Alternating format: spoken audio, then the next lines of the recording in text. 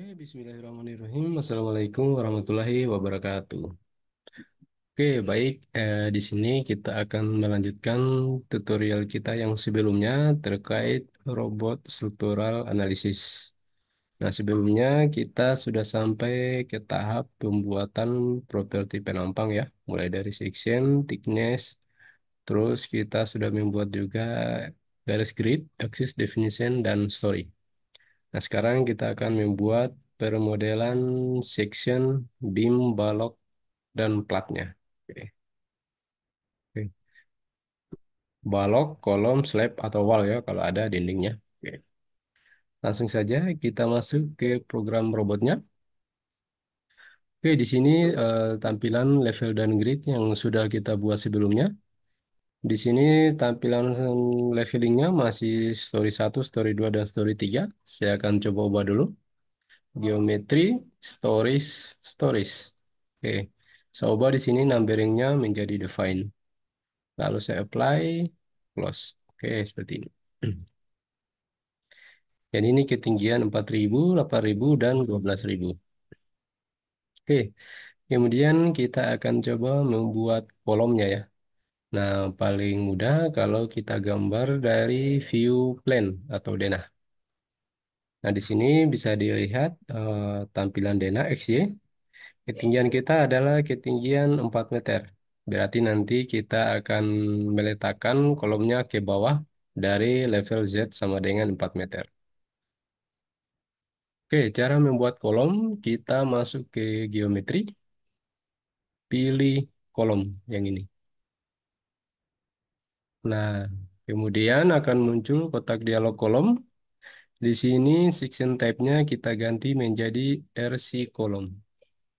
Sectionnya kita ganti menjadi C400 kali 400. Oke.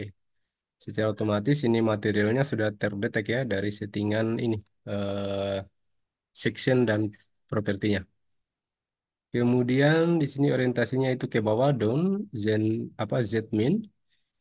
Sedangkan yang up ini dinonaktifkan, ini nonaktif karena uh, filternya masih aktif di sini. Nah ini kalau saya matikan baru up-nya berfungsi. Tapi tidak apa-apa, ini kita matikan saja, down ke bawah. Oke. Kemudian kita seleksi di sini, klik satu aja, klik. Nah ini kolomnya sudah masuk. Nah ini bisa saya klik lagi di sini, satu. Oke, kalau sudah kita pilih close. Oke. Kemudian kolom ini kita copy ke atas, caranya seperti ini, kita blok semua. Lalu pilih edit, pilih edit lagi, lalu pilih move or copy. Oke.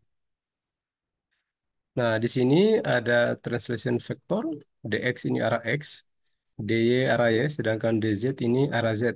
Nah, saya bisa langsung uh, memilih di sini, drag, copy seperti biasa di AutoCAD. Kita ambil titik acuannya di sini, satu, dua. Nah, kita langsung lagi ke sini. Oh, ke sini ya. Oke. Setelah itu kita copy lagi ke sini dan ke sini. Oke. Nah, ini sudah muncul, kita close. Oke, kita lihat di 3D view. Oke, nah kalau kita aktifkan drag tadi, maka otomatis akan langsung membuat balok di sini. Hmm. Kalau kita aktifkan drag tadi ya, yang ini. Oke, nah yang baloknya ini bisa kita ganti seperti ini. Yang baloknya, oke. Ini kita blok semua. Nah, kita ganti type-nya itu uh, section. Cuma di sini kedeteknya sebagai uh, RC kolom ya. Sepertinya ini kita delete saja dulu yang ini, yang atas ya, delete. Nah, seperti ini. Lalu kita cek. Nah, ini tampilan 3D view. Nah, kita coba buat lagi dari view plane. Oke. Saya buat baloknya. Geometri. Beams. Oke. Ganti menjadi RC beam ukuran 300 kali 500. Oke, kita centang drag lagi. Oke, ini sudah masuk. Di sini, di sini, di sini. Lalu kita escape dulu. Copy lagi ke atas, seperti ini. Ke atas. Oke, kalau sudah kita close dulu. Nah, ini sudah muncul keterangannya BR 300 kali 400. Oke, ini bisa saya select seperti ini. Sambil tekan kontrol, kita select. Nah, bisa terlihat di sini uh, beams yang terselect itu 4 dari 8 ya. Nanti kalau kita cek 1, 2, 3, 4. Oke. Kemudian kita pilih edit. Edit lagi, move for copy. Hmm. Ambil titiknya dari sini. Satu, dua. Terus itu copy lagi ke sini. Oke. Copy lagi ke sini. Lalu copy lagi ke sini. Oke, kemudian kita close. Kemudian kita select lagi balok vertikal sambil tekan kontrol. Oke. Lalu pilih edit lagi. Edit, move or copy. Kita ambil dari sini ke titik ini. Dari titik ini ke sini. Ke sini, lalu ke sini. Oke, lalu close. Kita cek hasilnya di 3D View. Oke. Nah, ini sudah masuk. Nah, kemudian di sini bisa kita lihat eh, kita tidak bisa bedakan untuk eh, warnanya ini masih sama antara balok dan kolom. Nah, kita bisa bedakan. Kita klik kanan, pilih display, lalu pilih mark with color, centang section legend by color, dan thickness legend by color. Lalu pilih apply. Nah, oke. Ini bisa dilihat ya di sebelah kanan bawah ini ada legendnya. Ada yang BR 300 kali 500 dan CR 400 kali 400 seperti ini. Oke, ini kan ketinggiannya sama ya antara 4 eh, level 4000, 8000 dan 12000 ini standar semua 4 meter. Nah, ini bisa saya copy ke atas sekaligus. Tapi sebelum kita copy ke atas, kita buatkan dulu termasuk platnya ya. Oke, masuk ke sini plan. Nah, di sini kita atur juga ya, yang tadi itu display, mark with color, section legend, lalu thickness legend by color. Oke. Hmm. Oke, kalau labelnya yang terlalu besar, saya coba cek lagi. Oh, 20, coba 25. Hmm. Symbol size. Oke. Oke, sekarang kita buat platnya. Kita masuk ke geometri, pilih floor. Nah, kemudian di sini kita pilih tipenya yang sudah kita buat sebelumnya, TH150. Lalu modelsnya kita pilih yang cell. Di sini saya gunakan rectangle untuk uh, pendefinisian platnya. Oke, saya mulai dari sini. Kalau rectangle itu cepat. Satu, dua, tiga. Nah, itu sudah jadi.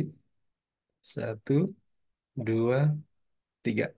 Nah, kalau kita gunakan kontur, satu, dua, tiga, empat, lima. Nah, itu lima kali klik. Tapi yang rectangle saja ya, supaya cepat. Satu, dua, tiga. Oke, sudah jadi.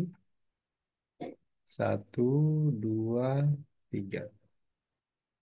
Satu, dua, tiga. Satu, dua, tiga. Hmm.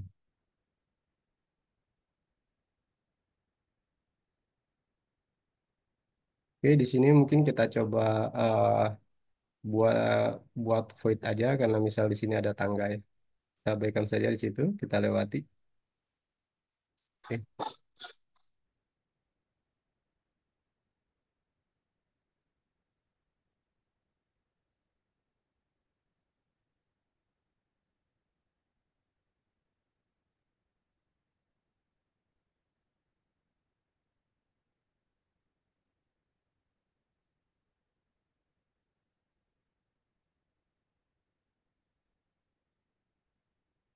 Hmm.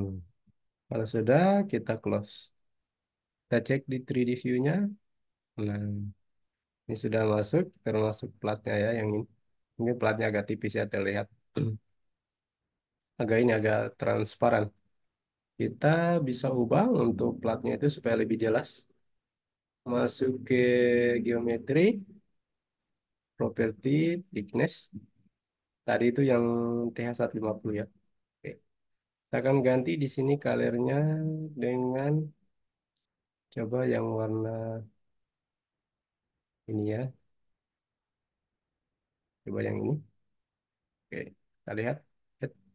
Yes, close. Oke, ini lebih jelas ya kalau seperti ini. Nah, sekarang ini kita akan ke ke atas. Kita blok dulu semua. Kita ambil posisi right seperti ini. Di blok seperti ini. Nah, jadi ini bisa terlihat eh, semua kolom itu terseleksi, semua balok terseleksi, dan semua lantai terseleksi. Kecuali yang nodal itu hanya setengah yang terseleksi di bagian atas saja.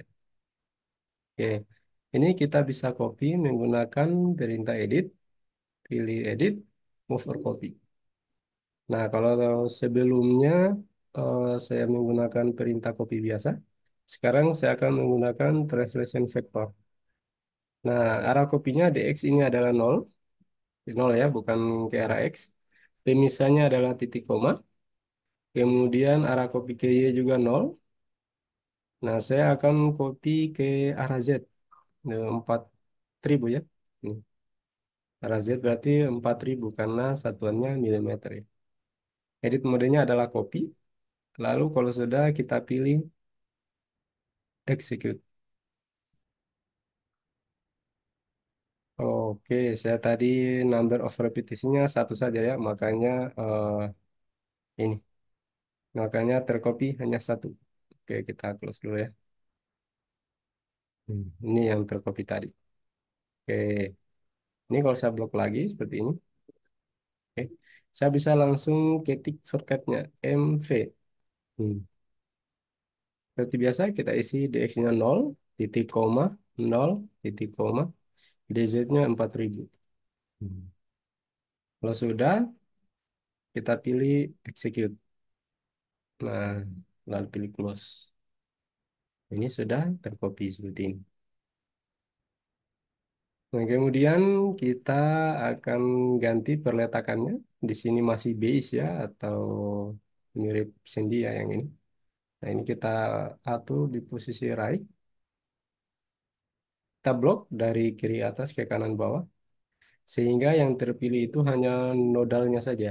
25 dari 100. Nah, di sini ada support. Kita bisa ganti tipe supportnya menjadi fix atau jepit. Nah, ini berubah simbolnya ya, seperti ini. Hmm.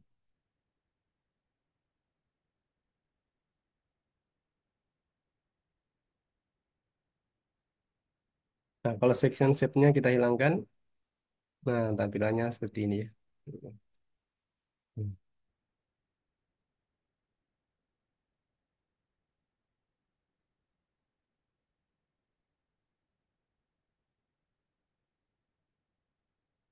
Oke, eh, sekian dulu untuk tutorial robot struktural analisisnya untuk pembuatan model section dan supportnya ya. Nanti kemudian kita akan masuk ke pembuatan pembebanan atau materi load. Ya. Load ada banyak, mulai dari load type, load definition, sampai load combination. Oke, sekian dari saya. Saya tutup. Assalamualaikum warahmatullahi wabarakatuh.